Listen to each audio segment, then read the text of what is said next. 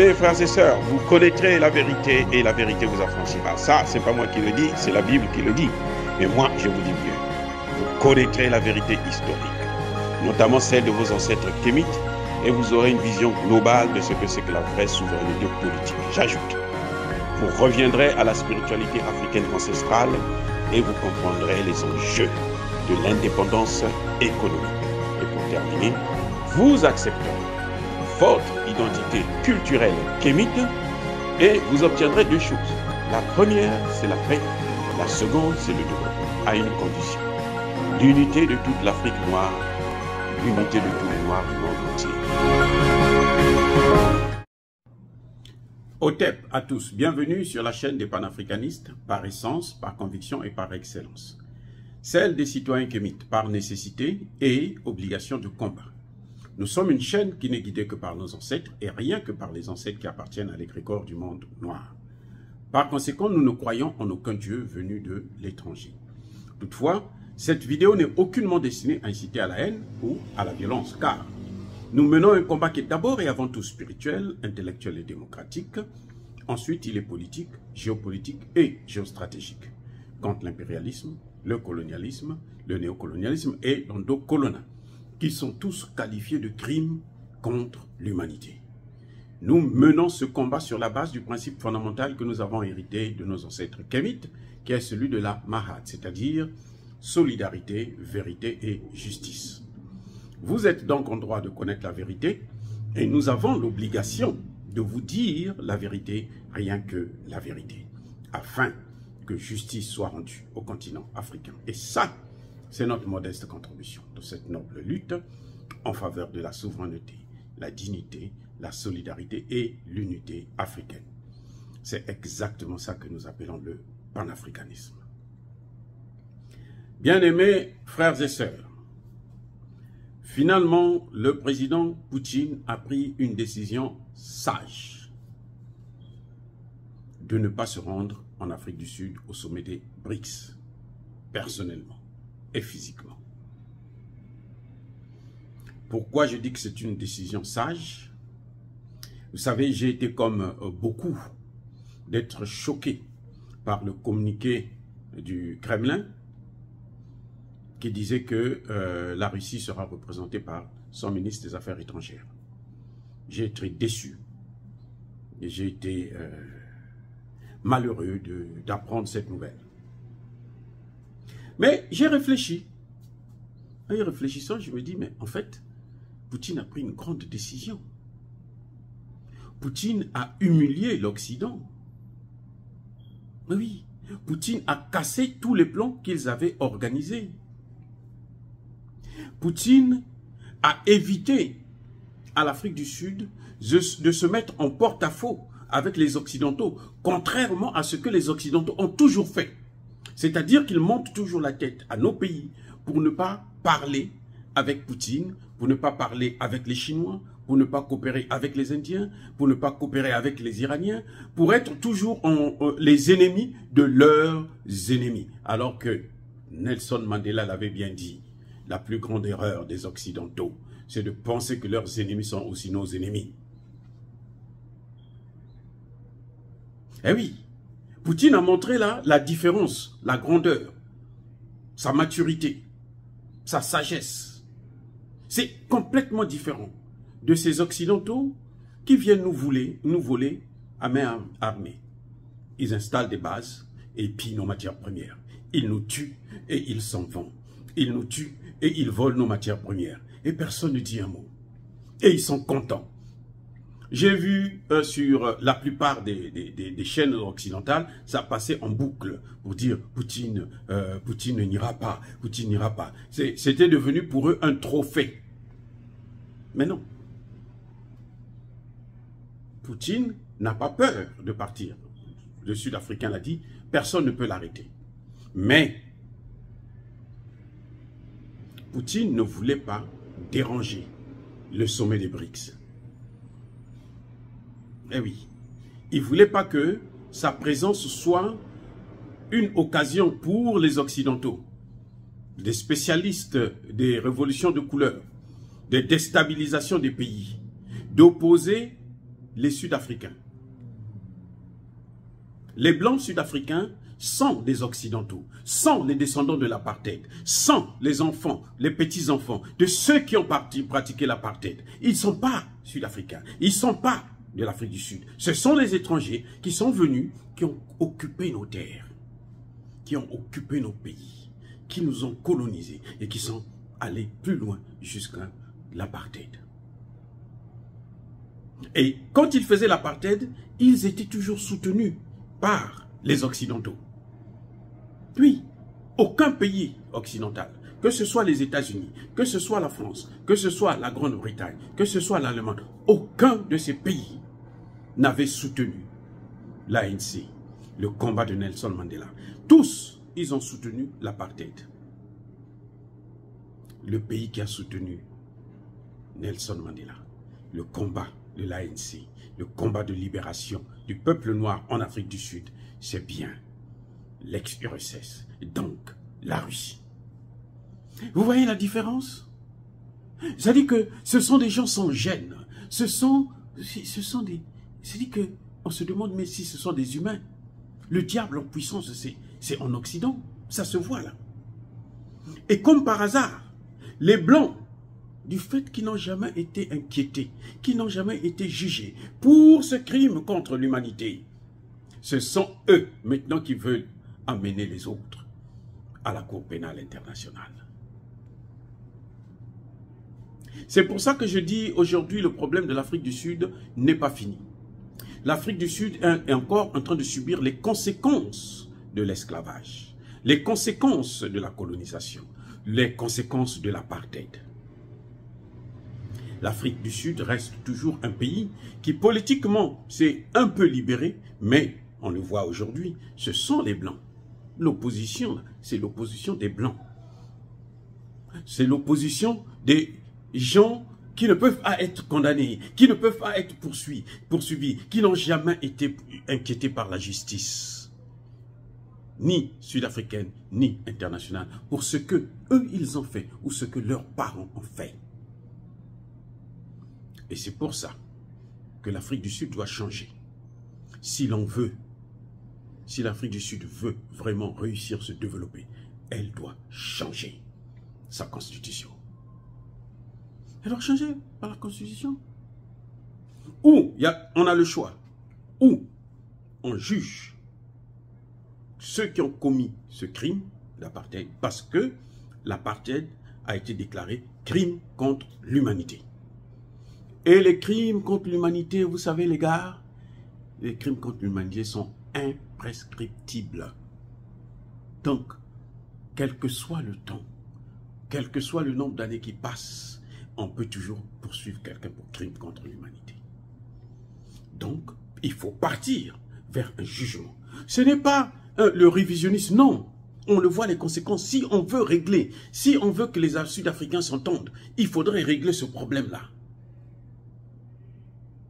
C'est pour ça que les Blancs se sont dit, on leur laisse la politique, nous on tient l'économie. Et on va toujours dominer ce pays. Parce que celui qui a l'économie là, c'est celui qui gère. C'est celui qui a le vrai pouvoir.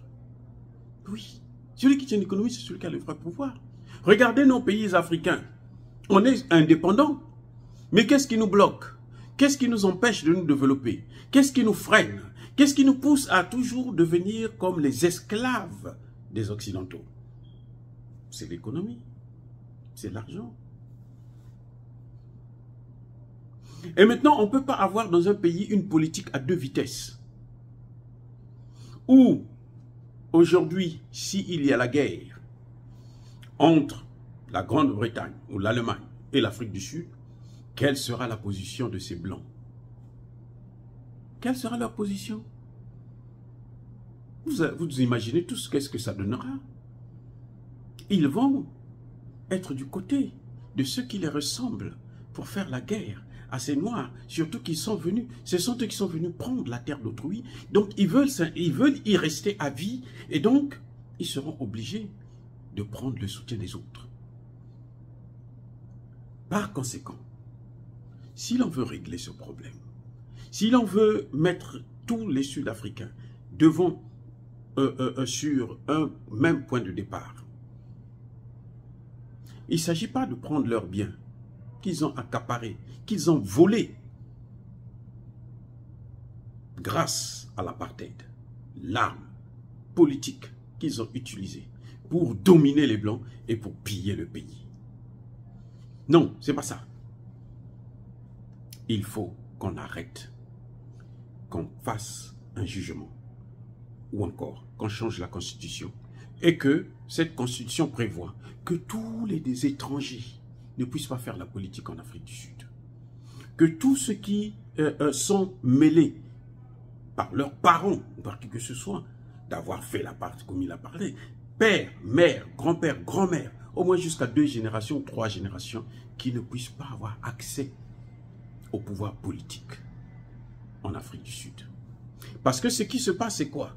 C'est que les Blancs vont finalement appauvrir les Noirs à tel point que les Noirs, à un certain moment, seront obligés de se dire, bon, puisque ce sont eux qui ont l'argent, il faut que ce, soit, laissons-les nous gouverner. Et on va encore nous-mêmes accepter la colonisation. Non, on ne peut plus tolérer ça. Nous devons prendre nos dispositions. Si les, Blancs ne sont pas contents, ben, ils n'ont qu'à repartir chez eux, en Angleterre. En Angleterre, on, chasse bien les Noirs, non? Oui, on chasse bien les Noirs. Hein Vous avez vu ce que euh, les Anglais voulaient faire entre-temps avec le Rwanda? Prendre tous les Noirs, les envoyer au Rwanda. Donc eux aussi, ils peuvent repartir s'ils ne sont pas heureux en Afrique du Sud. Ils ont, ils ont de l'argent, ils se sont enrichis. Maintenant, ils n'ont qu'à partir, laisser l'Afrique aux Africains. Laisser l'Afrique aux Noirs. C'est chez eux, après tout. C'est la volonté d'un peuple qui veut se libérer de l'apartheid. Parce que ce que vous voyez là, c'est ça l'apartheid. Ce sont les conséquences directes de l'apartheid. Regardez, regardez. Cet opposant blanc là, qu'est-ce qu'il a fait? Il est allé en Ukraine voir Zelensky. Son problème, ce n'est pas la paix. Son problème, c'est encourager Zelensky à toujours faire ce qu'il est en train de faire. Il est allé voir Zelensky. Hein. Il n'est pas parti voir Poutine pour dire que non, il cherche la paix. Non, il est allé voir Zelensky il est revenu. Et ce plan qu'ils ont concocté pour saisir la justice sud-africaine, c'est un plan qui a été travaillé par l'Occident avec les Blancs sud-africains qu'ils ont toujours soutenus pendant l'apartheid. Donc euh, c'est normal là. ce sont, ce sont des, ils ont des liens hein, d'abord de sang parce qu'ils sont tous euh, pareils. Vous savez, il y a un pays comme euh, les États-Unis aujourd'hui, ils n'ont pas colonisé un seul pays africain, n'ont pas pris en esclavage les Africains. Mais le problème avec les États-Unis, c'est que ceux qui sont venus pratiquer la colonisation et l'esclavage, ceux qui ont pris nos frères et sœurs pour les amener aux États-Unis, ce sont ceux-là. Ce sont leurs descendants qui gouvernent les États-Unis aujourd'hui. Les Blancs qui sont aux États-Unis, ce sont les Blancs qui ont pratiqué l'esclavage et la colonisation. Ce pas des Blancs neutres. C'est pour ça que vous voyez qu'ils sont toujours racistes. Il n'y a pas un pays plus raciste que les États-Unis. C'est juste que euh, euh, les États-Unis sont plus sophistiqués dans leur méthode que les Français. Mais ils sont racistes ici. On le voit comment les policiers massacrent les, les, petits noirs. Donc je pense que euh, faudrait prendre au sérieux cette situation-là. Et c'est ça, moi, c'est cette leçon que je tire vis-à-vis de cette situation euh, euh, de la conférence des BRICS en Afrique du Sud. La leçon, elle est là. ce que les Blancs ont oublié, c'est qu'ils sont en train d'exposer les Blancs de l'Afrique du Sud les blancs sud-africains, ils sont en train de les exposer. Eh oui, ils sont en train de les exposer. Et je crois aussi que l'une des décisions les plus sages, c'est que le président Ramaphosa doit prendre ses responsabilités pour engager le processus de sortie, de dénonciation de euh, cette Cour pénale internationale qui n'existe que pour juger les pauvres Africains, les pauvres Noirs. C'est-à-dire qu'on a tout mis en place. Il y a tout un mécanisme international qui est mis en place pour réduire l'homme noir à néant, pour réduire les hommes politiques noirs. Eh oui. Monsieur Ramaphosa doit prendre ses responsabilités. Sinon, ce n'est pas un vrai leader. Ce n'est pas un panafricaniste. Et nous voulons aujourd'hui des panafricanistes au pouvoir en Afrique. Comme on le voit aujourd'hui au Mali, au Burkina Faso et euh, au Centrafrique, dans une certaine mesure en Guinée. C'est ça que nous voulons, c'est ça que nous attendons, c'est ça que nous souhaitons. Ah oui, l'Afrique du Sud continue à subir les méandres de l'esclavage. Pourquoi? Parce que les auteurs n'ont jamais été jugés. On a préféré mettre en place ce que j'ai appelé ma théorie hein, de la justice transitionnelle. Mais dans mon livre, j'ai bien précisé que tout ce qui concerne les crimes contre l'humanité, il n'y a pas de prescription. Il n'y a pas euh, euh, euh, de justice transitionnelle. Il n'y a pas de pardon. Il faut les juger à la Cour pénale internationale. Ça, c'est mon invention. Ils se sont arrangés à noyer le poisson, à corrompre Nelson Mandela, pour qu'il puisse accepter. C'est pour ça qu'on a dit, la première des choses, c'était de diviser Nelson Mandela de sa femme, Winnie Mandela. Parce que pour bien l'avoir, il fallait qu'il se sépare. Puisque Winnie Mandela, c'est elle qui était dehors, c'est elle qui était à l'extérieur, c'est elle qui maîtrisait tous les dossiers. Donc il fallait les séparer afin diviser pour mieux régner. Et c'est ce qu'ils ont fait. C'est pour ça que Nelson Mandela est tombé. On ne peut pas le lui reprocher parce qu'il a fait beaucoup. Il a beaucoup souffert d'abord. Et il a fait beaucoup pour nous. Mais il faut reconnaître que la négociation pour la fin de l'apartheid n'a pas été négociée correctement.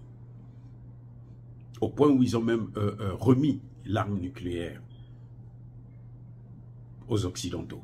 Parce que ça, c'était tout, sauf ça, les Noirs ne peuvent pas l'avoir. Mais tôt ou tard, avec le comportement qu'ils tiennent, les Noirs finiront par l'obtenir et par l'utiliser au cas où ils seront agressés. Dire cela, c'est inciter à la haine ou à la violence. Non.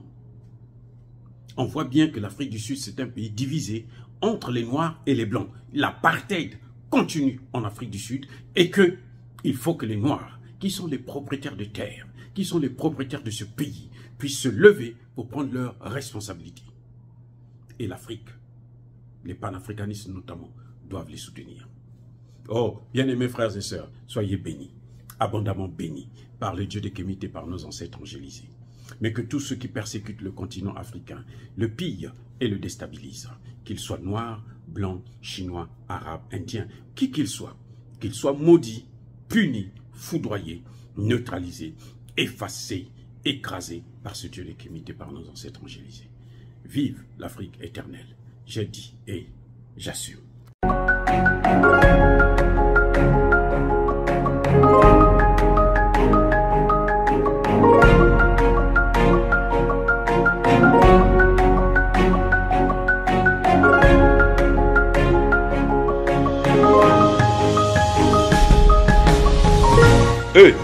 Ils marchent par la foi et non par la vue. Mais moi, je vous conseille vivement de marcher par la connaissance scientifique et historique, notamment celle de nos ancêtres kémites, par les cinq sens et par l'intelligence. À vous, à Pierre.